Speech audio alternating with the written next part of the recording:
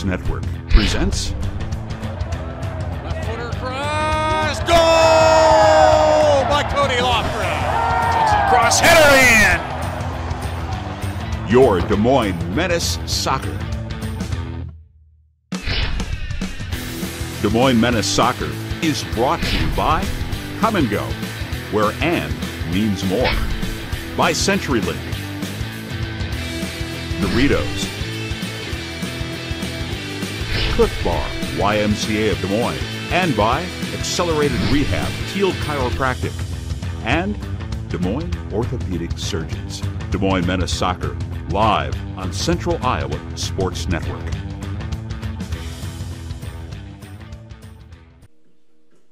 Good evening and welcome to West Des Moines Valley Stadium as we get ready for another Des Moines Menace soccer doubleheader tonight. We'll start off with the women who come in at 2 4 and 2, looking to finish up the season on a winning record in their final two games here, going up against the Fire and Ice tonight. And uh, this a rematch of a game two weeks ago that they lost to the Fire and Ice, but hoping to turn things around tonight and go back up on top and finish the season on a winning note. So it's a doubleheader of soccer action tonight. We'll be back to tell you more about this game after this. Be part of something special. Be part of Iowa's premier men's and women's soccer teams. Be part of the menace.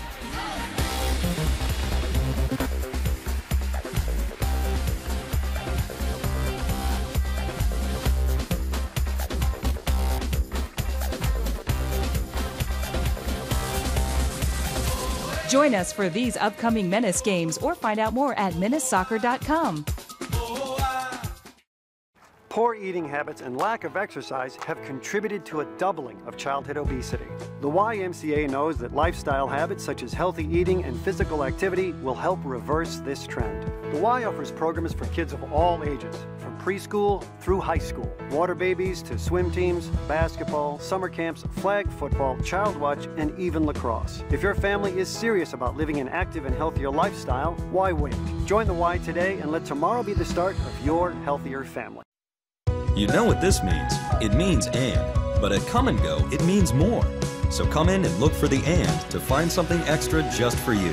Kum and Go, where and means more. Check out all our extras this summer, like any size drink for just $1. Guys, I got the jerseys. El Nino. Aquí. Spray Dan. Oh, yeah. Don Ovan. Think that's me? You guy. It's 40 bucks. Can you cover that? I'll send it to you right now. Done. Okay, got it. So hat trick Rick, he's the best player on our team. You get the ball, you give it to him. Great. Rick, On your phone, online, on the go. Wells Fargo makes it easy to get banking done. All right, Don, you're on. Nope, just kidding.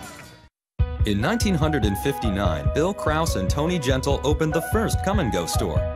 Four generations later, our family is still treating customers like friends and family and delivering more than people expect. That's why AND is our official symbol. So when you see it in and around our stores, it means that we created something extra just for you.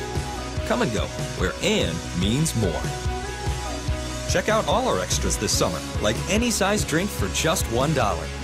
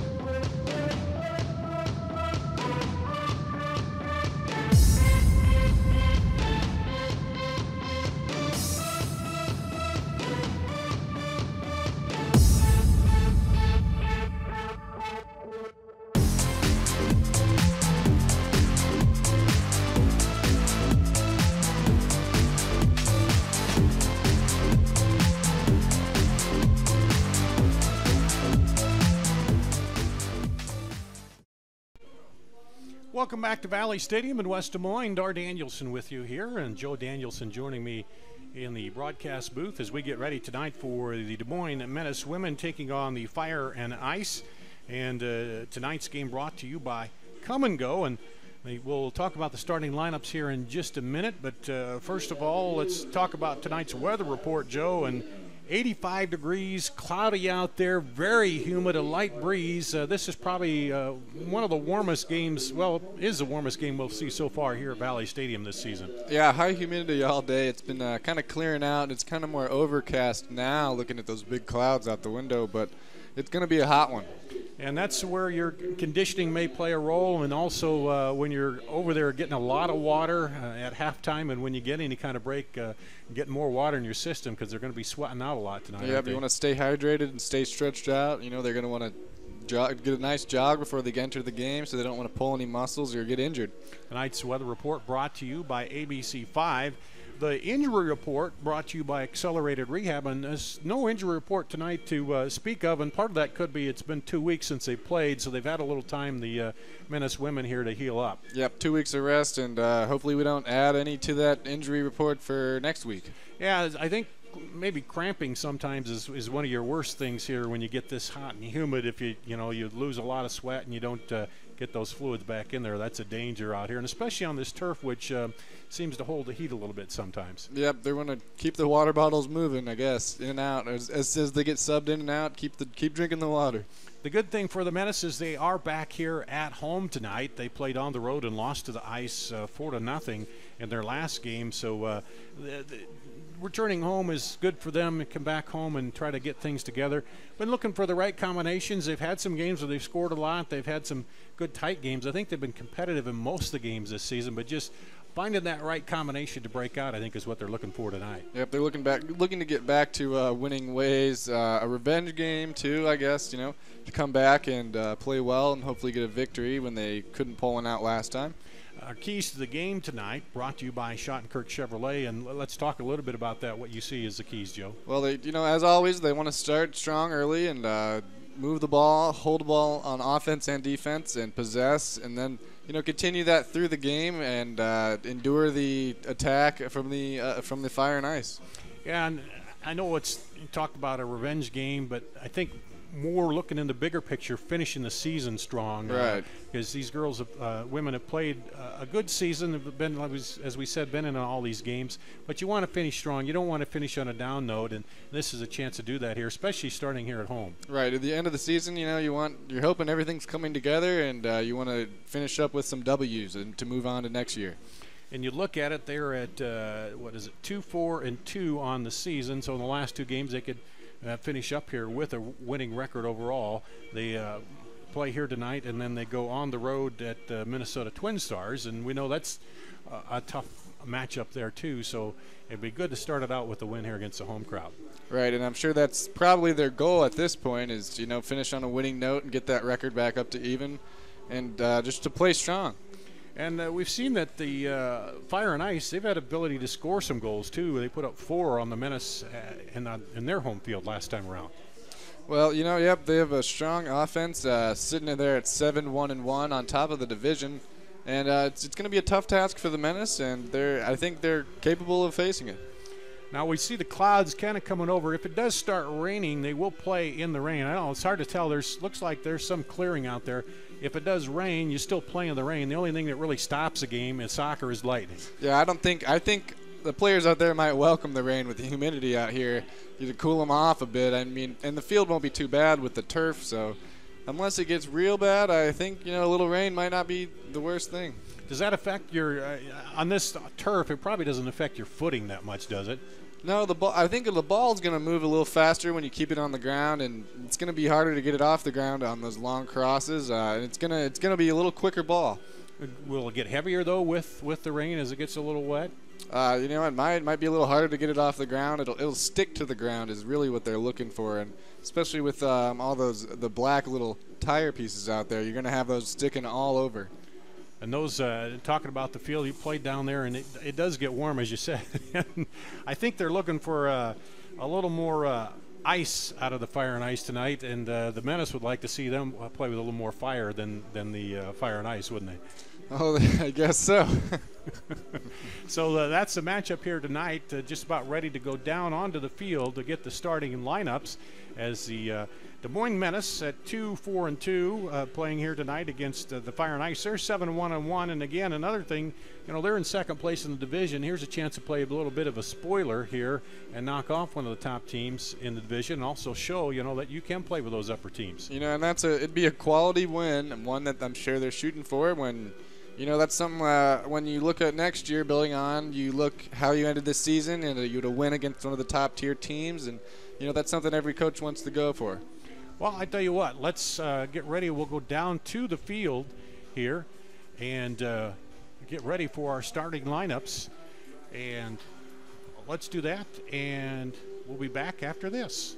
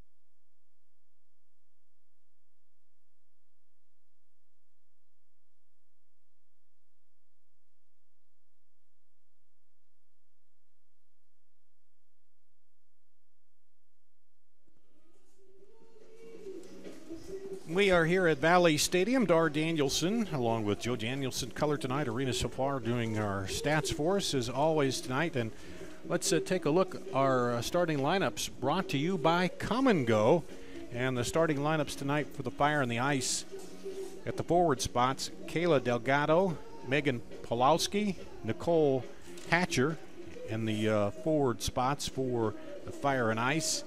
In the midfield, it'll be Kristen Crabtree, Taylor Sutton, Kelsey Dingus. The defenders, Gayla Foster, Kelsey Fouch, Maddie Ort, and Mara Kale Manavan. The uh, defenders, and in goal tonight, it'll be Tristan Studeville for the Fire and Ice. For the Des Moines Menace here, the lineup's brought to you again by Kum and Go. Carlin Samuelson will be at one forward spot. Nicole Pearson at another. In the midfield forward spot, Danielle Putterfoot is uh, will play that midfield forward spot. Katie Hurd in the midfield. Paige Flores and Elise Reed, midfielders. Defenders tonight. Whitney Sharp and Haley Halverson will be on the outside. The middle defenders, Danny Patterson, Chelsea Stokes, and the keeper tonight, Kaylin Stewart for the Menace. And Arenas and Joe looks like they've gone back in the locker room, uh, maybe a little extra water. yeah. to cool down before they uh, come out and start this game because yeah. I, I, know it's hard to tell up here because we are we don't get the breeze blowing right over us, but uh, there is a little bit of breeze and that's got to help them down on the field, doesn't it? Absolutely, it's very humid out today, but maybe he's giving them a pet talk here, saying, "Hey, we gotta we gotta go out there despite the weather, despite the heat, and go out and get you know the, the wins there that they so desperately need. So maybe he's getting him one. Uh, Coach little, Vorster giving him one last final pep talk. Yeah, a little minute, quick pep talk. Mm-hmm. Yeah, and uh, it looks like the fans are coming in dressed for the occasion, but saw some of them carrying some rain gear with them too, uh, just as a precaution. Yeah, just in case. There's some still some dark clouds up there, but uh, we're seeing some openings in the clouds too. So who knows? We may uh, be able to get this game going, and as we get more toward the evening, toward the men's game, might be cooling off just a little bit. So. Uh, we've seen some good soccer out of this uh, team this year, as they try to put it together, and you change in the different lineups, and Coach Vorster trying to uh, figure out just which ones work together, and uh, they have a chance here to finish up a good, strong finish in this season. Yeah, absolutely. He's sticking with a lot of his, uh, a lot of the same people in the squad. You know, Nicole Pearson and Elise Reed, who are joint top scorers, along with Ashley Stokes with two each. Uh, Stokes will be on the bench to start out, but he's sticking with them. He has Halverson back there. He has Whitney Sharp, of course, and so definitely, he definitely has faith in them. And I think, you know, if they work hard tonight, they can pull it off. And here they come now. Uh, the team's coming out of the locker room with the officials as uh, we get set to get this game going here tonight. And uh, just not too far away from kickoff. And wonder if there's kind of an excitement among them after seeing, you know, uh, the the Women's World Cup in the USA and what happened in that game. And, uh, you know, if you're a women's soccer player, you got to kind of be excited by that. And the U.S. Uh, winning the World Cup, and, you know, and then you kind of maybe saw some things in those games that you try to use in your own game here and uh, do some of that as you get on the field, huh, guys? Some inspired play, I think. Uh, yeah. I mean, that's a good game to, to look off of, you know, a good, big victory. Yeah, the Menace would like to start that way. It'd be nice to score, you know, four goals. yeah, absolutely. I think it's something to be proud of too for, for both teams. You know, to come out and say, okay, we watched this, and it's great for for the women's game and how it develops in this country. Um, they've the women, uh, the U.S.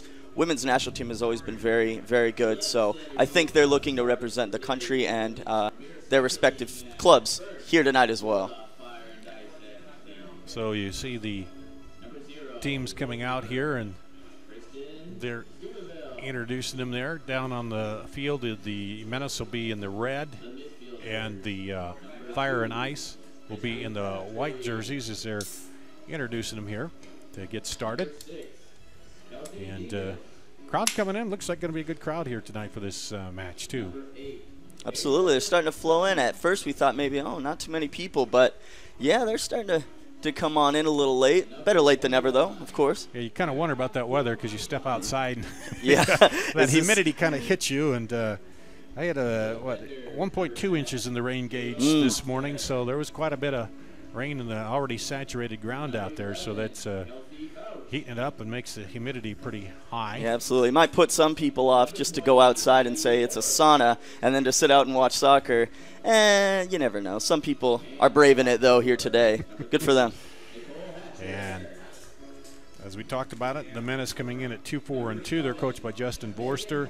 Lindsay Kennedy Eversmeyer is the coach for the Fire and Ice. They're at 7 1 and 1 in second place in the Midwest. And guys, looking ahead just a little bit to the men's game. I mean, we had an exciting game last last time a couple weeks ago, and uh, this one should be too. As they're still in the battle for first place with three games to go, and they have a chance to uh, not only finish with the playoff spot, but finish again at the top of the league like they did last year. So that, that's going to be a good uh, second game tonight, too, I believe. Yeah, absolutely. They're on a four match winning streak. They could go to five here. Uh, interesting, uh, reading up on them. They are the second in the entire PDL um, as far as defense goes, with conceding only six goals in the entire PDL, like I said. Um, only for the Kitsap Pumas, to, who have conceded only four uh, up there. So. Well, they're introducing now the Menace on the field with some young players out there with them. And Danny Patterson, Chelsea Stokes, Haley Halverson, and that's Whitney Sharp, and uh, got a chance to talk with her earlier during the season. We're going to have some of those, uh, some of the women players will be coming up to talk with us too at halftime of the men's game. Halftime of this game, we'll hear from uh, uh, the GM of the Menace once again, um, Matt Homonoff. He'll come up and uh, as he told us during our last game, if the uh, men do make the playoffs, good chance they'll be hosting a playoff game here, Joe. So that's kind of